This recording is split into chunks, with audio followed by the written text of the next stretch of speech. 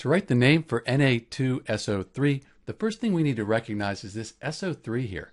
This is a polyatomic ion. It's called the sulfite ion, sulfite.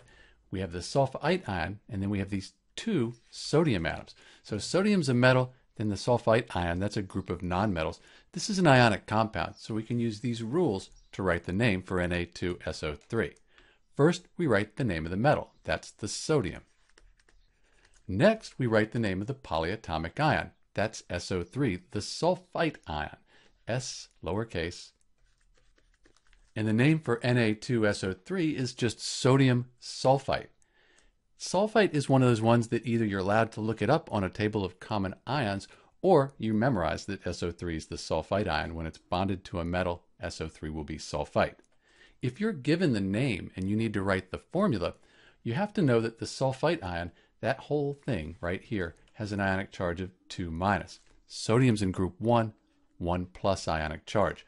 So we need two of these 1 plus sodium ions to balance out the 2 minus on the sulfite ion. This is Dr. B with the name for Na2SO3, sodium sulfite. Thanks for watching.